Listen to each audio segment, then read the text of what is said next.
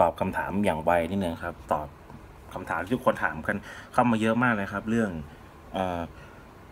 เล่นเวทหรือว่าเล่นฟิตเนสตอนฟาสติ้งนะครับต้องกิน BCAA ไหมนะครับ เพราะว่าป้องกันกลัวกล้ามเนื้อหายนะครับ ตอบเลยว่าไม่นะครับ ไม่จำเป็นแล้วก็ห้ามกินด้วยนะครับเนื่องจากว่าการที่เราไปกิน BCAA อะมิโนอะไรต่างๆนะครับ ช่วงท้องว่างนะครับ คือเราก็ไม่รู้ด้วยว่าไอ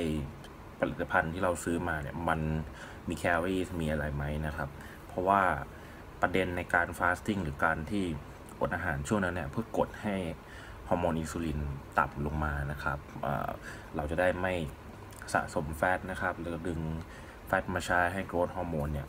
ออกมาถ้าเกิดเราเราไปกระตุ้นให้อินซูลินออกมานะครับ มันก็จะ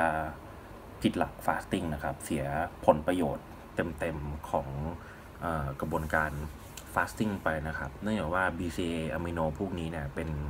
insulinogenic นะครับ หรือว่ามีถึงมันไม่ใช่ carb ก็ตามนะครับ แต่ว่าด้วยพันธะของมันเนี่ย มันมีส่วนที่จะมีโอกาสไปกระตุ้นให้อินซูลินเนี่ยหลั่งออกมาในช่วงที่เรา fasting ซึ่งเป็นสิ่งที่เราไม่ต้องการ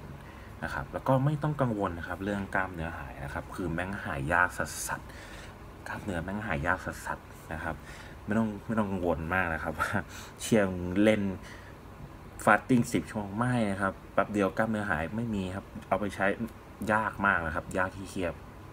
เอาเป็นว่าเล่นให้หนักนะครับ ใช้กล้ามเนื้อไปครับ มันก็คือการกระตุ้นร่างกายบอกว่าเฮ้ยอันเนี้ยกูต้องการคีบกูต้องใช้อยู่นะ กูใช้อยู่นะ มึงอย่าห้ามหายไปไหนนะ เออ แล้วก็